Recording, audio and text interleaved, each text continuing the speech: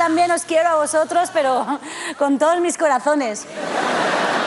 ¡Eh, qué alegría, eh! ¡Qué ilusión! Bienvenidos todos. ¿Cuánta gente ha venido dispuesta a reírse, a pasarlo bien? ¡Qué grande es el humor! Y qué bueno es, es fantástico. Nos hace olvidarnos de los problemas, escapar de la realidad, evadirnos del dolor. ¡Viva el humor! El humor es genial. ¿Os habéis dado cuenta de cómo ha subido la gasolina? Como siga subiendo a este ritmo, las gasolineras ya no van a ser nunca más estaciones de servicio, van a ser tiendas exclusivas. Ayer estuve en una que se llamaba Repsol y Gabbana. Había dos chicas allí pues hablando de sus cosas mientras compraban patatas fritas y ganchitos. Yo pegué la parabólica y dice una, tía, tía, ¿qué le vas a comprar a Borja por su cumpleaños? Y la otra, pues mira, no sé, estoy entre comprarle un Rolex o llenarle medio depósito. La otra, ostras, medio depósito, tía, vais súper en serio. Hijo. Al paso que vamos, los únicos que van a poder llenar los depósitos son los decoradores. Que yo no sé en qué planeta vive esa gente. Bueno, sí, viven en un planeta de brillantes y circonitas con anillos de mm, oro blanco. Así son ellos. El otro día compré una revista de decoración, bueno, la robé, y venía en portada un título grande con letra, con letra gorda, una pregunta. Decía, ¿qué prefieres, ático o chalet? Con la que está cayendo, tú. ¿Qué prefieres, ático o chalet? ¡Vámonos! Pues mira, sinceramente, para entrar a robar prefiero chalet, ¿eh? Pero para tirarme por la terraza, por no poder pagar la hipoteca, hombre, muchísimo mejor un ático. Ver, que luego la empecé a coger por dentro y es todavía mejor. Había un reportaje en Páginas Centrales un reportaje con el título que era El arquitecto José Manuel Sanchís de Oteiza y Sanz de Galdeano nos enseña su rinconcito en la sierra. Vamos a ver, José Manuel. Eh, del, del respeto que me da no conocerte de nada y tu media docena de apellidos. Deja algo de sierra para las cabras, amigo. O sea, rinconcitos donde yo tengo puesto el paragüero. ¿Eh? Tu rinconcito se llama Parque Nacional de Gredos.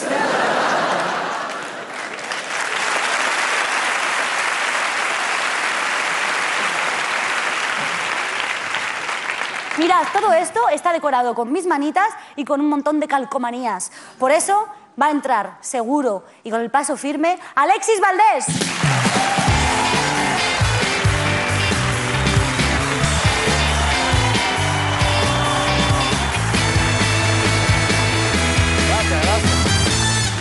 Eh, muchas gracias, muchas gracias. Estoy, estoy muy contento, muy contento de estar en este gran programa que es el Club de la Comedia.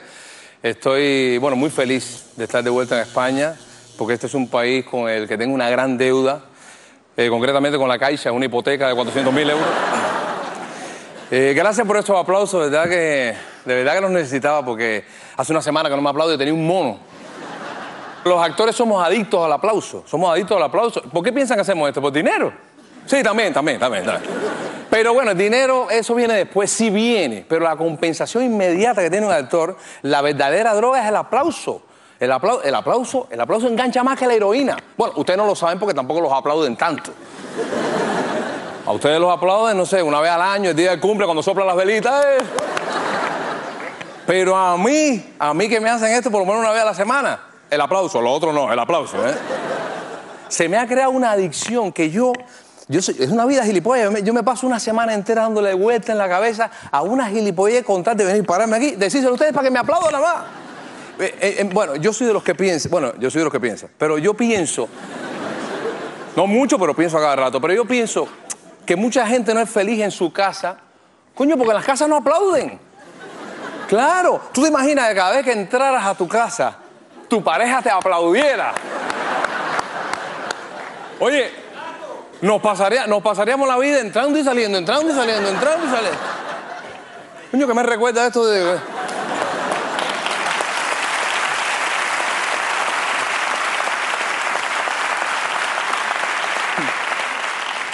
Bueno, ya que estamos hablando de sexo, pues estamos hablando de sexo, ¿no? Ya que estamos hablando de sexo.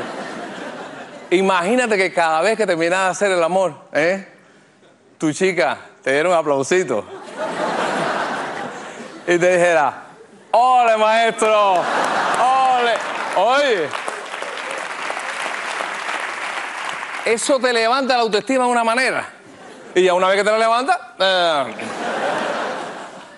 Sí, pero yo, yo creo, yo creo que a la gente, de verdad, a la gente se le debería aplaudir por lo menos, coño, tres veces al día. Tres veces al día. ¿Eh? Desayuno, comida y cena. Joder, con la crisis económica que hay, llegar a desayunar, comer y cenar, eso merece un aplauso.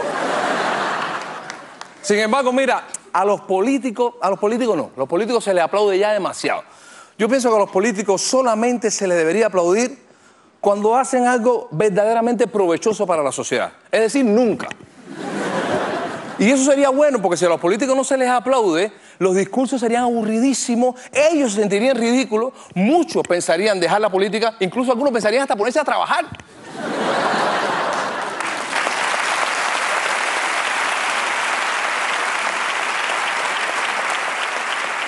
Se retiraría el 50% o el 80% de la política, viviríamos un mundo mejor. Porque además es injusto que le aplaudan tanto a los políticos. Joder, para que a mí me aplaudan, yo tengo que pensar y pensar, estrujarme el cerebro para encontrar un chiste original.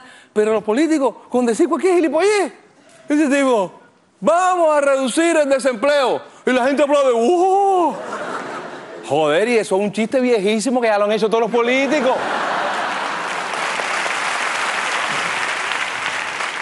Mira, los que tienen el aplauso garantizado son los cantantes de música cristiana. No sé si han ido a algún concierto de cantantes de música cristiana. ¿Has ido?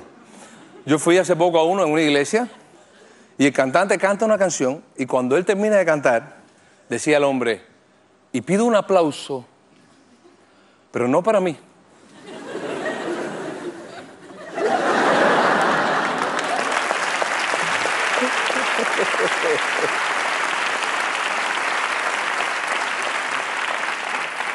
para el Señor. Y cuando piden aplauso para el Señor, aplaude todo Dios. Pues claro, dicen que el que está arriba todo lo ve. Y si ve que tú no te lo aplaudiendo, si ve que tú no le estás aplaudiendo. Porque yo a veces estoy actuando y hay un cabrón por ahí que ni aplaude ni se ríe. Y yo le pido un mal rollo a la hostia. Pero no le puedo hacer nada. Pero de arriba te ve y te jode vivo. Te hace. Te sube el interés de la hipoteca y te jode. Pues cuando aquel pedía, cuando aquel cantante pedía un aplauso para el Señor, yo me imaginaba, porque a Dios le tienen que gustar los aplausos, porque aparte Dios es el que más gracia tiene, la gracia divina. Y yo me imaginaba a Dios allá arriba, ¿no? Mirando cómo le aplaudían. Dice, gracias, gracias. Y, haciendo la genuflexión, ¿no? Fíjate, ¿qué palabra más rara es esa? Genuflexión. Yo estoy seguro que tú le dices a alguien, yo conozco una tía que hace la genuflexión y dice, ¿cuánto cobra?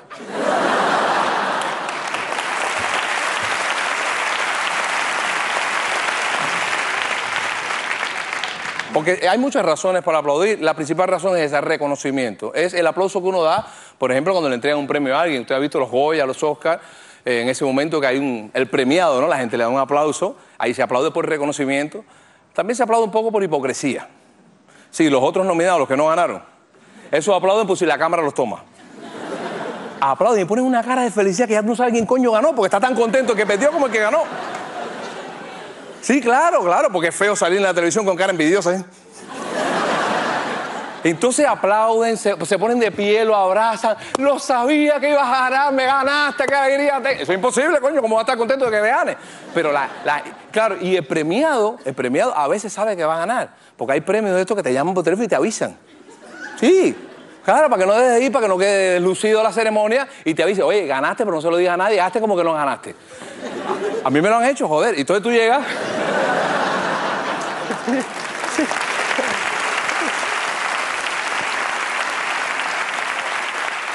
Sobre todo si eres actor, tú lo actúas. Yo lo he hecho, mira, mira cómo es. Tú llegas a los premios con una cara de gilipollas así. Y tú no sé, no sé, imagínate tú. Te sientas ahí, a ver, a ver, a ver, a ver. Y estás puteando a los otros, ¿no? Y tú.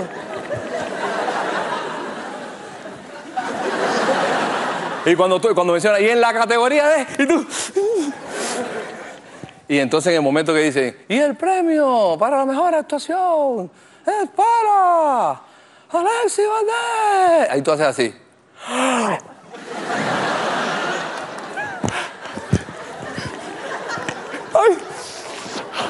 Y abraza a todo el mundo y sube al estrado. Ay, ay, que ay, este, es una emoción porque no me lo esperaba, ¿no? Bueno, no sé qué les voy a decir, porque la verdad no tengo nada preparado. Ah, sí, tengo un papelito. Y el papelito siempre dice lo mismo. Tú dices, y dedico este premio, en primer lugar, a cualquiera de mis compañeros, porque cualquiera de ellos lo merecía más que yo. Coño, devuélvelo. Devuélvelo.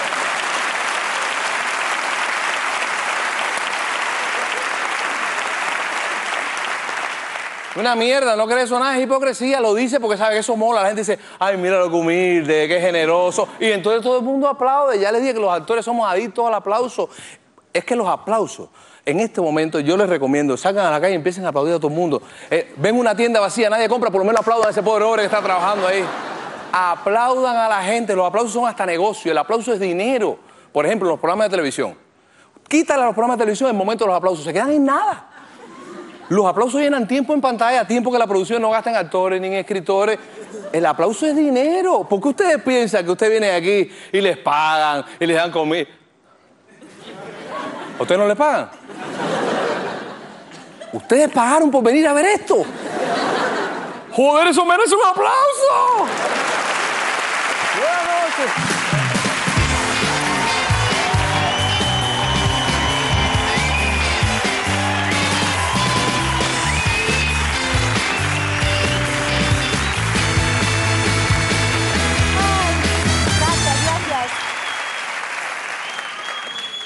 Bueno, bueno, bueno. La verdad es que qué bien se vive en España, ¿eh? Y no es gracias al clima, ni a la dieta mediterránea, ni a los tres puentes de cuatro días que os cogéis a lo largo del año. No.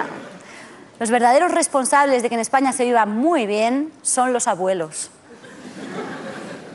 Los abuelos son multitarea. Eh, un abuelo español tiene más funciones que Lina Morgan en Vaya Par de Gemelas. Y que no hace falta ni que estén nuevos. ¿eh? Seminuevos nos valen. ¿eh? Una familia con un par de abuelos en buen estado se ahorra todos los meses un dineral. Te recogen a los niños de la guardia, te llevan el coche a la ITV, te van a la hacienda por un papel. Compran el pan, se comen el currusco que no quiere nadie. Vigilan las obras, ¿eh? te abren al fontanero. Sacan la propaganda de los buzones, la discriminan del correo que sí vale. Te reciclan las bolsas de papel. Y prácticamente gratis. Porque mantener un abuelo no sale mal de precio. No sale mal de precio. Si lo tienes a terceros ya es una bicoca. Bicoca.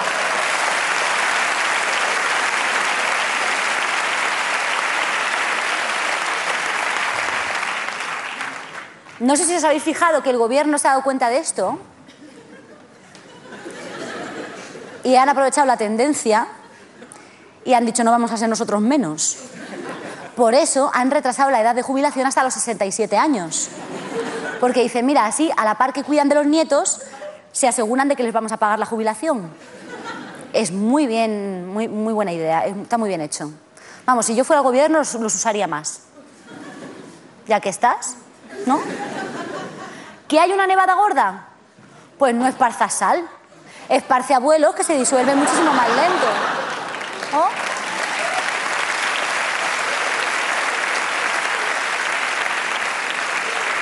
Que hay una mancha de petróleo en el mar. Una barrera de abuelos con manguitos no te deja pasar una micra de chapapote a la costa. Inundaciones en Levante. Pues diques de abuelos. Un incendio descontrolado. Pues cortafuegos de abuelos. ¿Desde cuándo ha hecho falta tener dientes para soplar? ¿Quién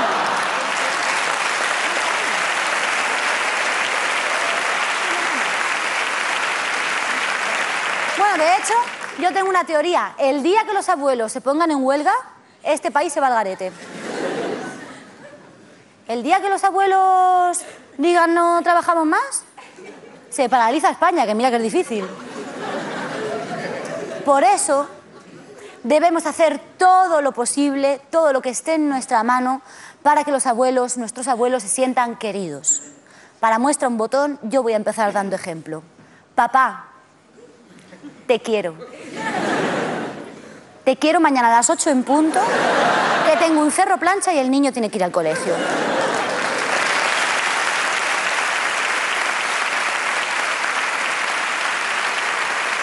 El que es un grandísimo defensor de los abuelos, de hecho ha fundado una ONG que se llama Abuelos sin Tiempo Libre, es David Guapo.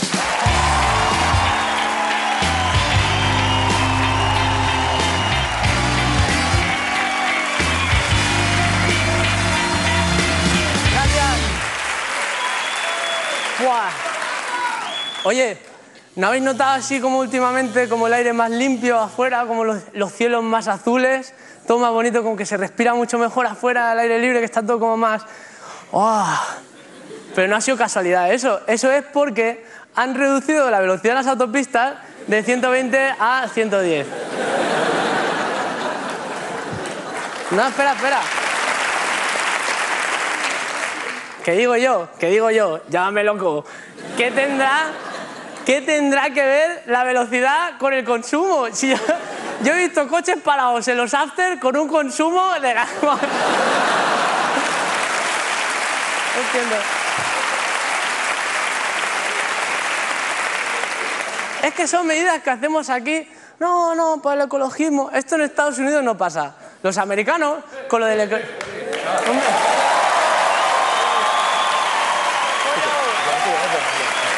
¿Qué pasa? Estaba en casa viendo el programa y digo, ¿qué, qué estás. ¿qué estás hablando de americanos tú?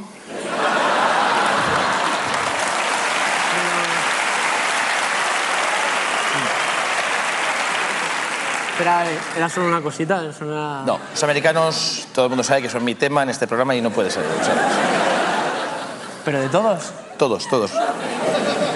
Wisconsin, Lo tengo. Carolina. Norte y sur.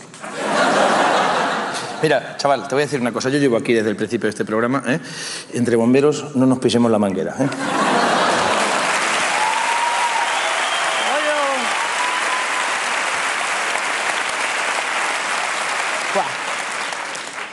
Qué situación más incómoda, ¿eh? Bueno, pues voy a contaros de, de cómo he llegado yo hasta aquí, porque yo también estoy en este programa. Eh, yo he venido aquí porque eh, aquí fue un proceso largo. Primero estuvo mi nacimiento, que fue un proceso bastante estándar, la verdad. Hubo varias fases. La primera fase fue la fase de salida, que es cuando yo salí. Aquí no entro en mucho detalle, para mantener el romanticismo del momento. Tú imagínate que estás tumbado en el sofá y en la otra punta del sofá está tu madre y tú te pones tontorrón y dices, mamá, ¿te acuerdas cuando estaba ahí dentro? Y le señalas a la barriga que es donde estabas. Y tu madre te mira tontorrona y se frota la barriga y dice, ay, sí. Y queda un momento entrañable, madre e hijo. Perfecto, maravilloso. Pero imagínate que en vez de tu madre está tu padre en la otra punta del sofá y tú, papá, ¿te acuerdas?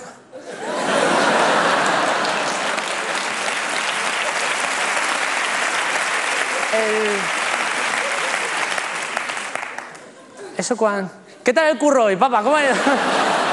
Evítalo porque es incomodísimo. ¿Te acuerdas cuando estaba dentro tu padre? Sí, hijo, sí, es verdad. No es lo mismo.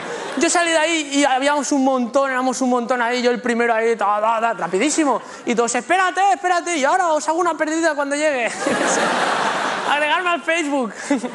Llegué allí a un sitio así, redondito, calentito, estaba guay. Me metí ahí, no venía nadie, estaba yo ahí a mi bola sin hacer nada, no hacía nada, cero, no hacía nada, comía gratis, no trabajaba, lo que es hacer un ring, pero durante nueve meses. Entonces estaba yo ahí. No, no. Estaba ahí. A ver, no hacía nada. Yo, yo pensaba, estaba ahí con mi, con mi posición, ¿no? Súper cómodo, estaba yo ahí como encogido, ¿os acordáis? Que vosotros también. ¿Estáis, no? Y con mi, pensando, ¿no? Decía, pues pensaba y pensaba, decía, pues si todos los caminos llevan a Roma, ¿cómo se sale de Roma? Porque es- Estás tú ahí con... No, no. Estás tú ahí con tus ollas. Estás con tus ollas de útero, las uterollas que lo llaman, estoy pensando. Y de repente, no, y dices, "Ostras, un momento, un momento, la primera duda, dices, si yo todavía no he desarrollado los pulgares, ¿yo qué me estoy metiendo en la boca? ¿Qué tengo?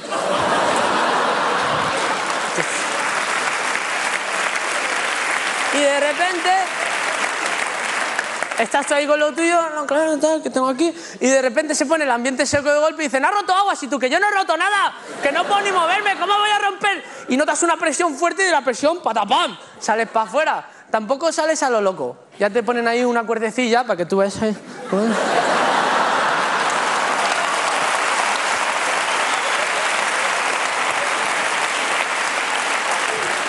Hasta que ya estás fuera y te cogen de los pies. Ahí ya te relajas, tú sigues con lo tuyo, casi romas capitales, normal, que nada, tal. sin hacer daño a nadie. Y de repente, ¡po! Y tú. ¿Quién ha sido? ¡Quitaron las máscaras! Y sale rebotón ahí, pero si ya lo ves a todos 100 veces más grandes que tú, dices, me voy a callar a ver si pillo otra vez la cara. El médico salió zumbando de la sala. Yo le grité, porque yo siempre he sido muy rebotón. Yo le decía, "¡Guau! ¡Ah!". Se fue cagado. El médico se fue directo a la sala de espera. La sala de espera es la sala del hospital donde se espera. Esto fue el equipo creativo del hospital. Estaban reunidos, habían acabado el edificio y dijeron, vamos a poner nombres a las salas. Venga, vale, vale. Algo guay, venga, brainstorming. Todos en la sala. ¿Cómo llamamos a la sala donde la gente espera? Yo, lo tengo. Lo tengo, lo tengo, lo tengo. Sala de espera. ¡Buenísimo! ¡Buenísimo! ¡Es un genio! ¡Venga, venga, venga, venga! ¡Que vamos rodados, que vamos rodados! ¿Cómo llamamos a la sala de los rayos X? ¡Yo! ¡Sala de rayos X! ¡Buenísimo! ¡Espera, espera, no! ¡Venga, vamos, vamos! Y a la, y a la sala de operaciones, yo, yo, yo. quirófano, despedido.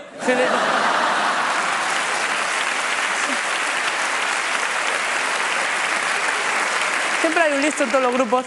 El médico fue donde estaba mi padre, estaba mi padre ahí sentado, el hombre ahí con sus nervios. Fue el médico hacia él y le dijo, ¿es usted el padre del niño? Y mi padre se levantó rápido dijo, ¿qué, qué pasa con las preguntitas de última hora, macho?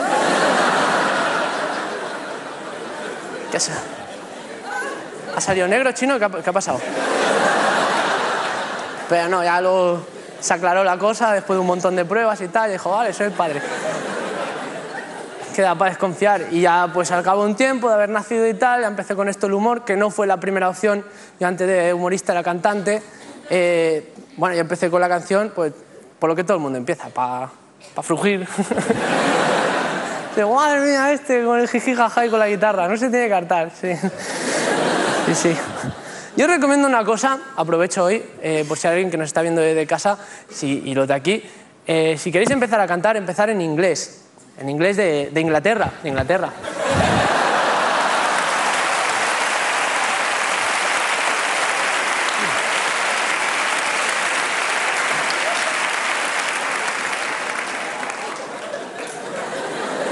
Porque... Porque... Porque el inglés es una lengua muy agradecida. De hecho, solo hay dos palabras que tenéis que saber para empezar a cantar en inglés. Si me traéis la guitarra, compañeros, para ir haciendo la demostración. Fuerte aplauso para Miguel Ángel.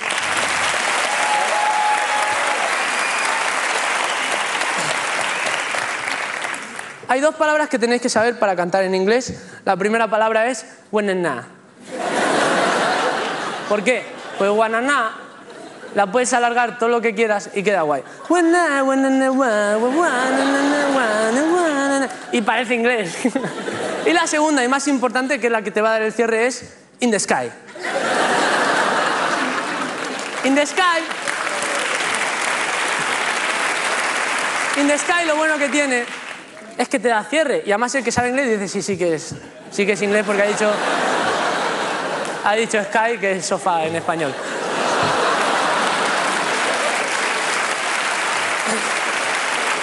si ya, si tú ya quieres darle otra vuelta dices, yo no me conformo con un tema cualquiera, yo quiero darle sentimiento, quiero dar un temazo, le metes un together en medio ¡uh! y te queda un tema de piel de gallina. Voy a cantar un, un tema, esto ya, cuando ya salís al escenario es importante poner sentimiento. Sentimiento aplicado al mundo del escenario es cerrar los ojos con fuerza, morderte el labio inferior, echarte para atrás y hacer como que no. O voy a cantar el tema es una historia de amor entre dos indígenas, uno se llamaba Guaná y el otro Naguana. Y dice así. Espera, voy a hacer consentimiento.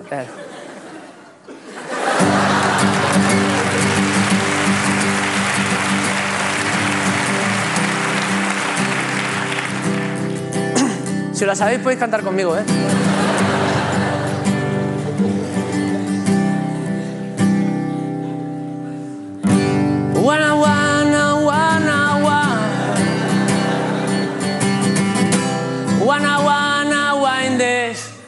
Sky.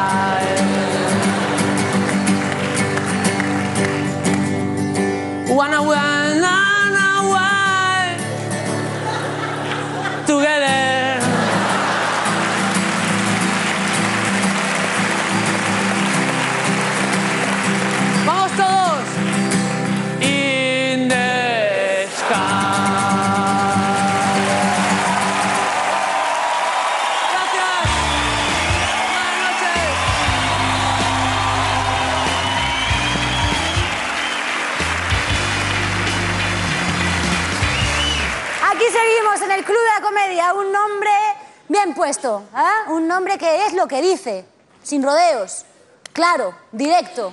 ¿ah? Todo el mundo escucha el nombre y sabe de lo que estamos hablando. Un club, muy bien. ¿De qué? De la comedia. Genial. Pues a ver si sacáis pronto el disco. Es un buen nombre, el Club de la Comedia. Se entiende la primera, no hay más vueltas que darle. ¿ah? No es como las películas esas que ponen después de comer con esos títulos que están hechos con desgana. Si los hacen todos con seis palabras. Seis palabras. Inminente. Letal. Atracción. Atrapada. Deuda y por sorpresa. Atracción inminente. Atrapada por sorpresa.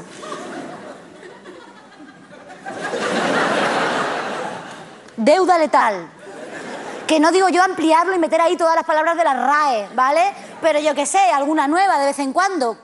Sofacama. Sofacama inminente, sofacama de tal, atrapada en un sofacama. Pues ya te da otra riqueza, ¿ah? Un. Trabajároslo un poco. Mira, ya puestos a pedir otros que también estaría bien que leyerais un poco, ¿no? Y que mejorarais a la hora de poner cosas a, las cosas militares estas, los militares que ponen nombre a las operaciones especiales. A ver. ¿Esta gente dónde ha hecho la mili? En Disneyland. Tormenta del desierto. Libertad duradera. Amanecer de la Odisea. Vamos a ver, hijo, que vas a bombardear un país. Que vas a tirar dos mil tomahawks. Que vas a dejar la ciudad hecha amigas. Que los museos los vas a poder ver en dos minutos. ¿Cómo que amanecer de la Odisea? ¿Tú con quién has hablado? ¿Con Isabel Coixet? ¡Stop! ¡Poesía! Llámale como tienes que llamarle. Operación se va a cagar la perra.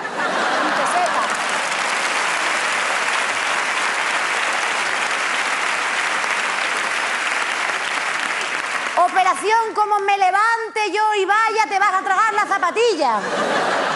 A ver si empezamos a llamar las cosas por su nombre. El que viene con un nombre muy bien puesto es Pepe Villuela.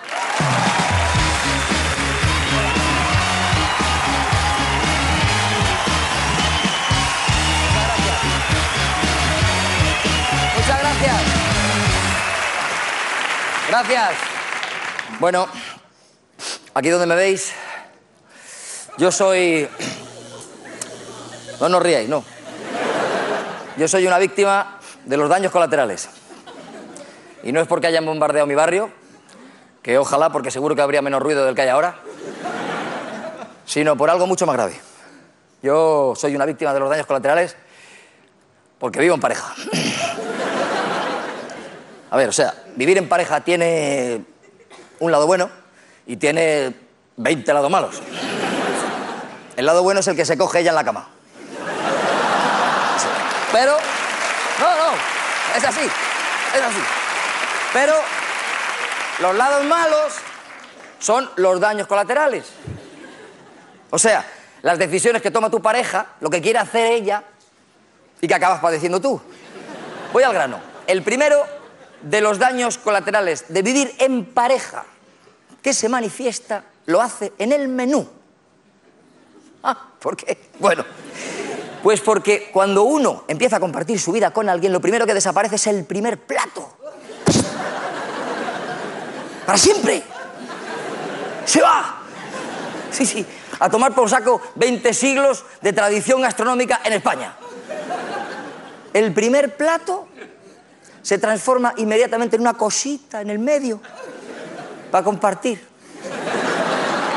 Y generalmente de color verde. Y la cosa no termina ahí. No, porque es que no te vas a volver a comer un postre entero en tu vida.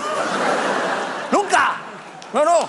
Cuando convives, lo, habéis visto, ¿no? O sea, cuando convives, el postre se comparte, aunque te hayas pedido una uva.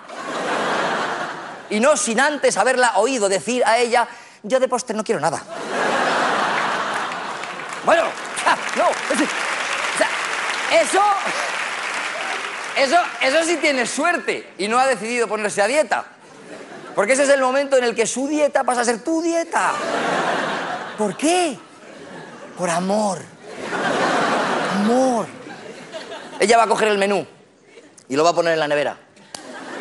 Con todo lo que puede comer. Bueno, pues a partir de ese momento eso va a ser para ti como el marca. La verdad absoluta. Ahí está. Sí, bueno, y si ella decide ponerse a hacer dieta mediterránea, pues vas a comer peces vamos, que no tienen ni en los acuarios. Peces y, algas y kefir y, y, y, muesli. yo, qué sé. Si al final parece que estás viviendo con una afgana, macho. Pero, joder. No, a ver, todas esas cosas. El kefir, el tofu, el... ¿Pero qué mierda es esa que ni la traducen, macho? La convivencia en pareja, amigos, amigas, tiene unos daños colaterales que no te puedes imaginar. O sea, por ejemplo, imaginemos que ella quiere dejar de fumar, ¿no? Bueno, pues lo más probable es que solo lo consigas tú. Y si ella quiere llevar una cámara de fotos de vacaciones, te la vas a pasar tú entera con el cacharro colgado al cuello. ¿Eh? No, de, de verdad. Total, que luego ves las fotos y solo sale ella, parece que tú no ibas. Sí, y bueno, siempre llega un momento en la vida en el que escuchas frases de este tipo. Cariño, ¿el sofá no quedaría mejor al otro lado del salón? ¡Cuidado, cuidado, cuidado! Porque eso puede parecer una pregunta, pero no lo es. Eso es una sugerencia por cojones. A ese tipo de preguntas hay que quitarles el no. Y hay que quitarles los signos de interrogación. Y, poner- y- y ponerles, añadirles un ponte el chándal. O sea, esta frase, volvemos a ella. Cariño, ¿el sofá no quedaría mejor al otro lado del salón? Lo que quiere decir es, el sofá quedaría mejor al otro lado del salón, ponte el chándal. Y cuando tú... Y así te pasa en la vida. Pero es que cuando tú ya estás harto de mover muebles, de hacer fotos, de compartir el postre, pues acabas haciendo lo que hacen todas las parejas. Ir a por el niño. Y eso es otra sugerencia por cojones. Deberíamos tener un niño, ponte el chándal. Sí. Y tú a lo mejor, pues en tu vida has querido tener un hijo, pero claro, a estas alturas ya de la vida en pareja, pues dices que sí. Cualquier cosa con tal de no volver a mover el sofá. Ahora que vámonos. Vamos a ser honestos. Nosotros, los hombres, tampoco nos quedamos cortos probando, o sea, eh, provocando daños colaterales. Sobre todo esos días, ¿no? En los que yo qué sé, o sea, esos días te levantas y de pronto, sin saber por qué, incomprensiblemente, dices, hoy cocino yo. Normalmente eso lo que quiere decir, traducido es, hoy voy a hacer un montón de ruido, me voy a pasar la mañana ¿eh? en la cocina renegando de la olla porque es una mierda y se pega, y te voy a dejar la cocina, vamos, que te va a resultar más fácil reformarla que limpiarla. Sí, sí, de verdad, los hombres... Los hombres, con el corazón en la mano, los hombres también provocamos daños colaterales, sobre todo esos tíos, ¿no?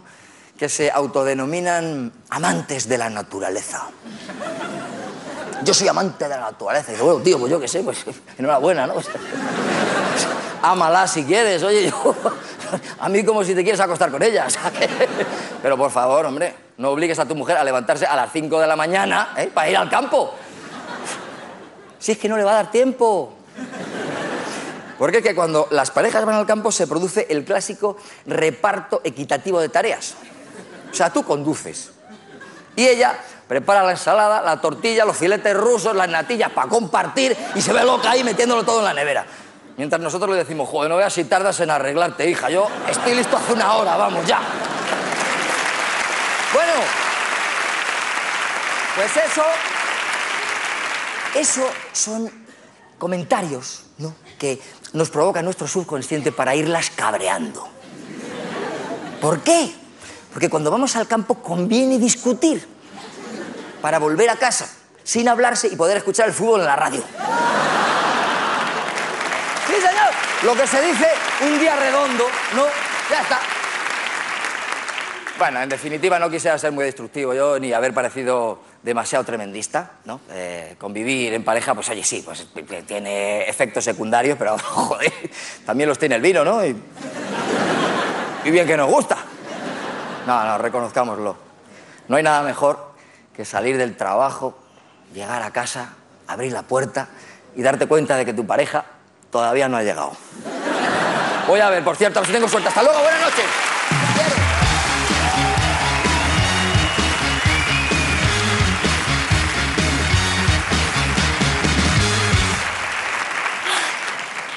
Estoy preocupada. La gente lee poco. ¿Y por qué lee? ¿Para entretenerse? ¿Para cultivarse? ¿Para acabar el trabajo de Bernardo Alba para su hijo? No. La gente lee para hacer daño. ¿Cuándo lee la gente? Por la noche. ¿Y por qué leen? Porque han discutido. La escena es siempre la misma. Ese hombre en pijama metido en la cama, tieso como un ajo porque está revenido, enfadado. ¿Ah? Ella, sin ganas de hablar, con un libro de 8 kilos y cuarto. Un libro que hay que tener cuidado de que no se te caiga encima del pie porque te lo convierte en aleta.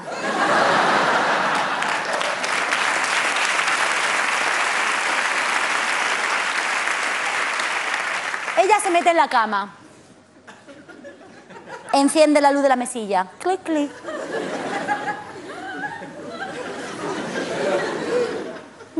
La lucecita.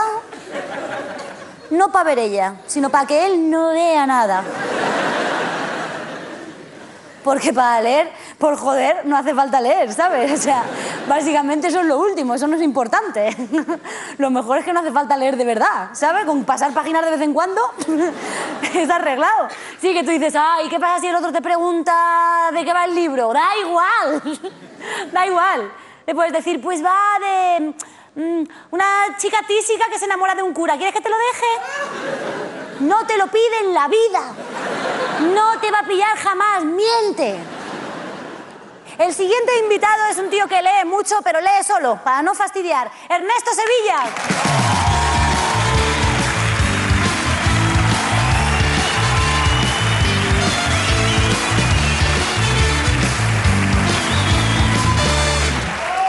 Gracias. Buenas noches, soy Ernesto Sevilla y vamos a partirnos el culo esta noche. Hoy le he dicho a mi madre que voy a sentar la cabeza y ella me ha dicho, pues en el jardín hay sitio. Sí, me caso, me caso, eh, o sea que guay, estoy bien, no, no estoy agobiado, no estoy... No, estoy bien. Se me acaba lo bueno, con lo que yo he sido, que me pego unas noches locas impresionantes, que yo me enrollé con el viejo de saber y vivir. No es broma, ¿qué va? Lo intenté, pero me hizo la cobra, el cabrón.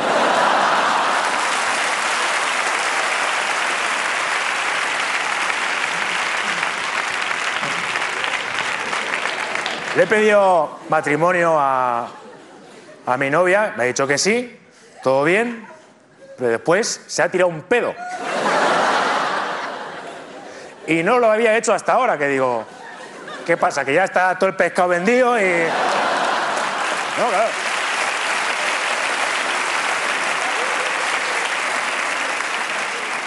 Que además mi novia muy guapa, pero el pedo olía fatal.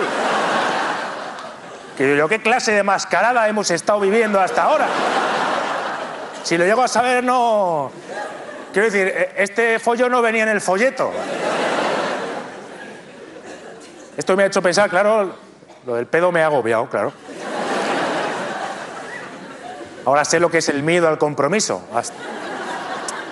Hasta, ahora pensaba que el miedo al compromiso es cuando te encontrabas con tu vecina, te decía, mira mi chiquillo, ¿a qué guapo? Y a ti esa situación, ¡ah! te asustabas. Todo me agobia, los preparativos, el piso, bueno, viendo el piso hasta mi novia se ha dado cuenta porque me ha dicho, mira, esta es la habitación de los niños. Y cuando me ha mirado estaba yo poniendo la cara del niño del resplandor. Mi suegro, mi suegro también. Bueno, es que mi suegro ya empezamos fatal, porque lo fui a saludar, le fui a echar la mano, él también, nos pusimos nerviosos y al final le di un pico.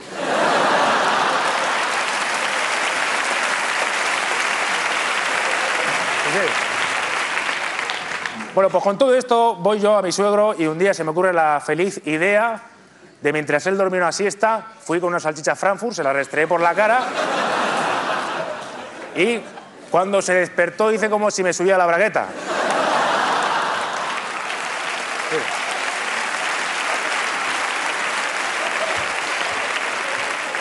Dije, no sé, ¿hay algo esta broma que no acaba de...? Bueno, a mi jefe tampoco le hizo gracia. Luego está mi cuñado, ¿eh? el hermano de mi novia, mi cuñado, que es pesadísimo, mi cuñado. Es un tío muy pesado. Que el otro día viene y dice, me he ido de vacaciones y me he encontrado un tío pesadísimo. Él. O sea, él se ha encontrado un tío muy pesado que digo, ¿dónde te has ido? ¿A Argentina?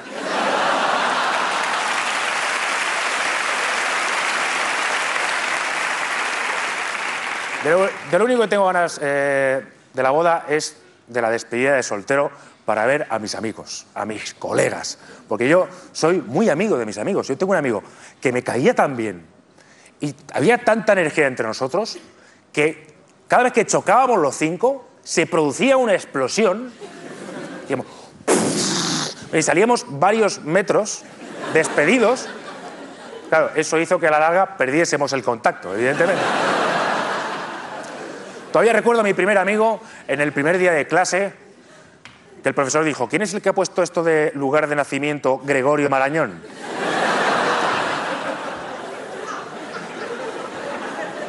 Alguien levantó la mano, yo lo miré, dije, ese es mi amigo, sin duda alguna.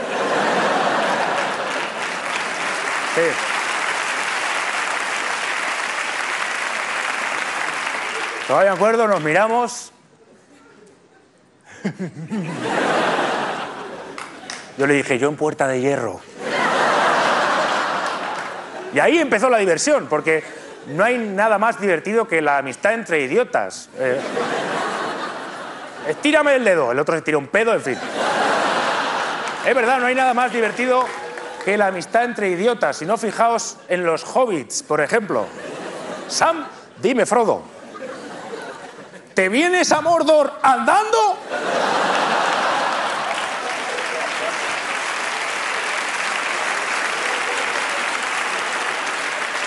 ¿A Mordor andando? ¡Joder, sí!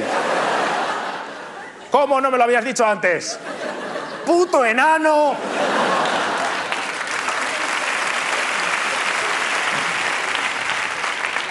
En un grupo de amigos tan grande siempre hay uno que te cae mal. Que tú dices, será cosa mía. Pero luego lo hablas con el resto y a todo el mundo le cae mal. Que tú dices, "¿Qui- ¿quién llama a este tío?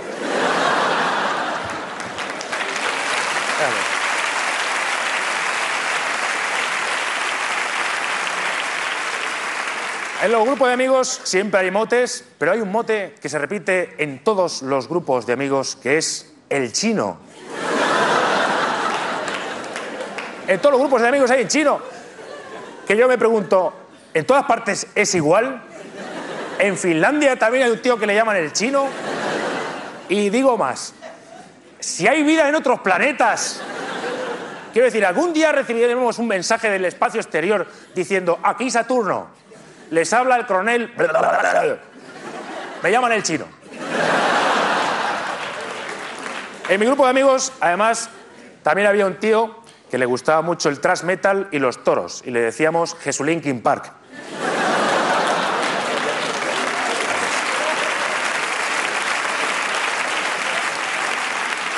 En todos los grupos de amigos hay un tacaño, un rata, a este, bueno, esto todos sabemos lo que es, lo distinguiréis porque le falta la punta del dedo pulgar. ¿De qué? De ofrecer bocadillo.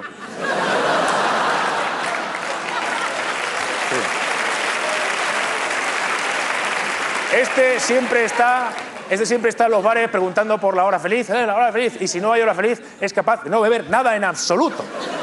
¿Estás bien? ¿No quieres nada? No, no, estoy de puta madre. Se te está secando un poco la boca. No, no. No, no, no. Agua del grifo un poco. Cuando estáis borrachos siempre hay uno que te dice, cuando yo me muera no quiero que lloréis, quiero... No lloréis. Quiero que os pilléis la botella de chivas más cara que hay y lo celebréis por todo lo alto. Que ahí es cuando viene el rata y dice, yo, hombre, yo ese día no voy a estar para celebración. Vale, vale. También había- en, mi, en mi grupo había un amigo que fumaba muchos porros, eso también siempre hay un fumado en el grupo. Que bueno, fumaba muchos porros, pero vamos, más o menos estaba bien. A lo mejor, bueno, es verdad que decías Enrique y hacía. "Ah". Emitía, emitía un sonido agudo que no era perceptible para el sonido, para el oído humano, pero que los perros estaban ahí. Con este amigo mío con el que tanto fumaba me bebí mi primer cubata. Una pena porque los cubatas han truncado mi carrera en el deporte porque yo corría que me las pelaba y viceversa.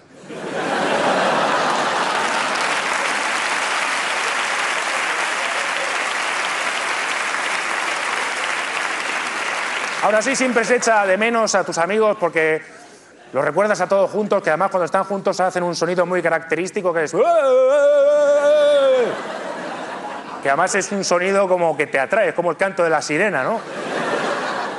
Tú estás con tu novia y, bueno, el sofá con chelón o sin chelón. Entonces empiezas a escuchar en tu cabeza. Empiezas a recordar, ¿no? Tienes un flashback y pones la cara de flashback, que es así. ¿Recuerdas la última juega que te pegaste con tus amigos en la que uno de ellos acabó riendo y vomitando a la vez? Entonces, ¿recuerdas eso? Bueno, momentos quieres volver allí, entonces, conchelón, conchelón, corto, tía, carpe diem. ¡eh! Te vas con tus amigos, entonces descubres que se han casado todos ya. ¡Ay, co- conchelón, cariño, conchelón! Eso sí, casándome, espero que por lo menos mi padre deje de controlarme. O a lo mejor no, y se viene a la noche de bodas. Ya me lo estoy imaginando a mi padre mirándome y diciendo, hombre, así no, así no, hombre, así no. ¿Quién te ha enseñado a culear así, hombre? Anda, trae, déjame a mí, déjame a mí.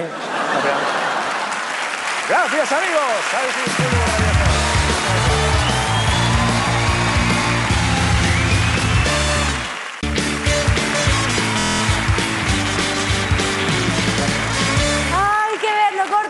El tiempo cuando lo estás pasando bien, ¿eh?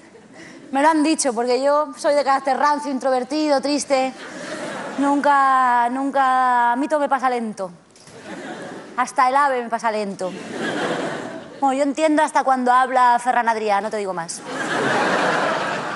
Los que me hacen ir rápido por la vida son estos señores que han estado aquí, para los que pido un fortísimo aplauso. ¡Ernesto Sevilla!